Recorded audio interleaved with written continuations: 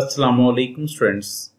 In this video, we will learn that how we can create portfolios by using two securities. Since the early 16th century, a quotation don't put all your eggs in one basket has become a valuable symbol for explaining the ways to manage your investment risk. If you invest, if you keep all your assets at one place, these can be lost so you need to keep assets at different places. The same concept is applied in finance. There are many well-known theories like Markowitz theory that argue that you should invest in multiple assets that will minimize the risk associated with these investments. So we will create portfolios to minimize our investment risk. For portfolio development, one of the basic calculation is the calculation of covariance. Covariance is a statistical measure of how two assets move in relation to each other. Positive covariance indicates that two assets move in same direction. A negative covariance indicates that two assets move in opposite direction. Covariance can be used to maximize diversification in portfolio of the assets. By adding assets with negative covariance to a portfolio, the overall risk is quickly reduced. So we will try to find out assets whose relationship or covariance is negative and uh, we can compute covariance by uh, using these formulas. After computing covariance and selecting assets that having negative covariance, the next step is to calculate weight of the portfolios. The weight of the portfolios can be computed by using this formula. This formula helps us to create a portfolio that is efficient portfolio, mean variance efficient portfolio whose return and risk relationship is the best among the all other portfolios. It can be noted that this formula can only be used for two assets. After computing weights, the next calculation is calculation of portfolio returns. The portfolio return is the weighted average return of individual companies. And uh, it, it can be computed by multiplying weights of individual securities with their returns. After computing returns, the next calculation is portfolio risk. And uh, this formula will be used to measure the portfolio risk. And the last calculation is coefficient of variation. That is standard deviation of the portfolio divided by the expected return on the portfolio. By doing all these calculations, our objective is to create an efficient portfolios. And an efficient portfolio is one which offers higher expected return at a same level of risk or offers same level of risk at the higher expected return. Now we will move to Microsoft Excel sheet and actually compute covariance, correlation coefficient, weights and so on. Now we are moving toward uh, creating portfolios and I will write here portfolio 1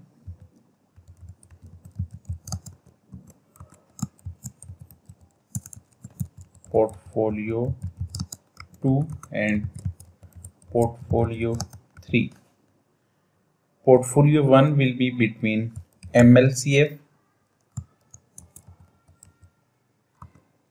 and NML portfolio 2 will be between MLCF and SHSML portfolio 3 will be between NML and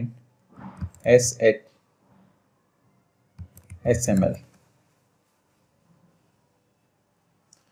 Firstly, we will create covariance between portfolios and the formula for the covariance is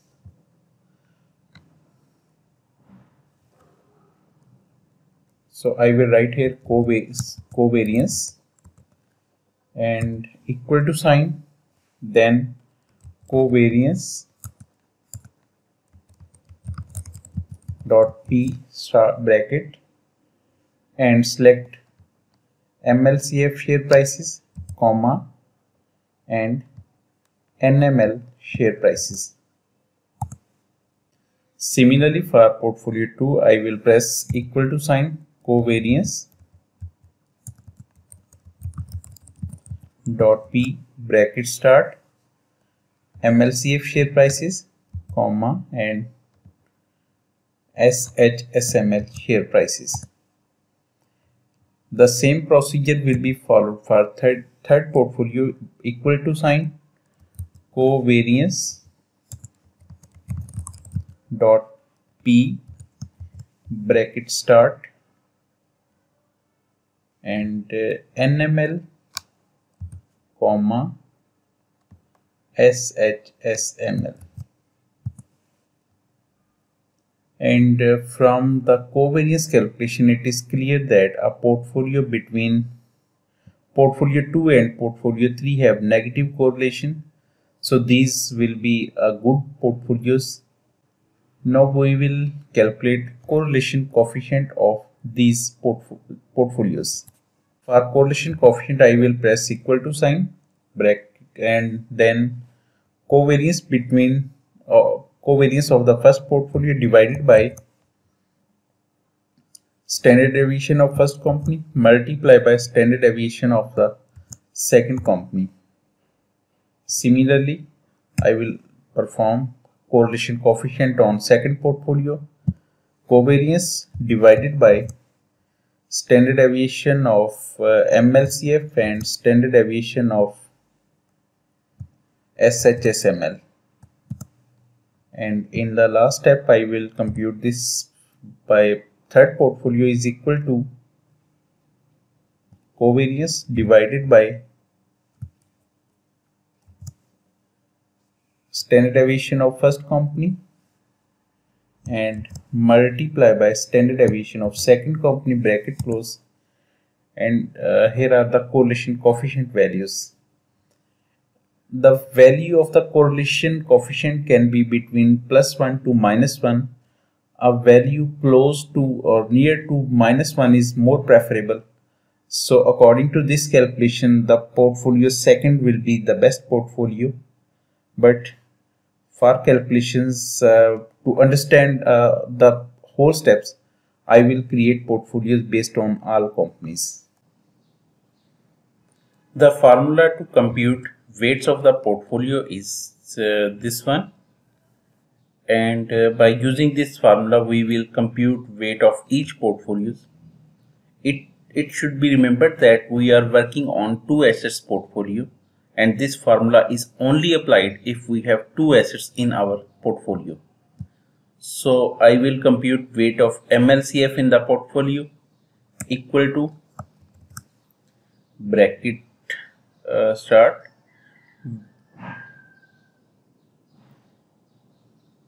variance of the ML NML minus covariance AB divided by variance of A plus variance of B minus again brackets are 2 into covariance AB and bracket close.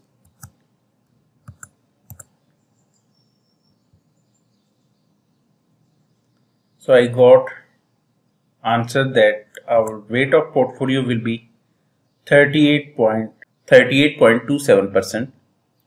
I will round this calculation by writing here round bracket start and uh, comma to 38 and for NML I will simply 1 minus weight of other security and we got 0.62 that will be weight of NML. Similarly, in other portfolio equal to variance of uh, NML uh, sorry SHSML minus covariance AB divided by variance of first security plus variance of uh, second security minus 2 minus bracket start 2 into covariance AB. Similarly, I will round this calculation by using round function round bracket start comma 2 and 0.87 and 1 minus weight of first security so we get got 13 percent. Same calculation will be applied on third portfolio equal to bracket start variance of uh, SHMSL minus covariance AB divided by variance of uh, first security plus variance of second security minus 2 minus bracket start 2 into covariance AB bracket close and round comma 2 and for other security 1 minus weight of first security so we got weight for all our portfolios. The next step in portfolio development is to calculate return on the portfolio and the formula for the return of portfolio is and I will write here R capital and P small uh, to show portfolio return equal to bracket start weight of first security into expected return of first security plus weight of second security into expected return of second security. Expected return means arithmetic mean and we got a return of the portfolio. Similarly, I will write here equal to sign weight of first security into expected return on first security plus weight of second security into expected turn on second security. And in the third security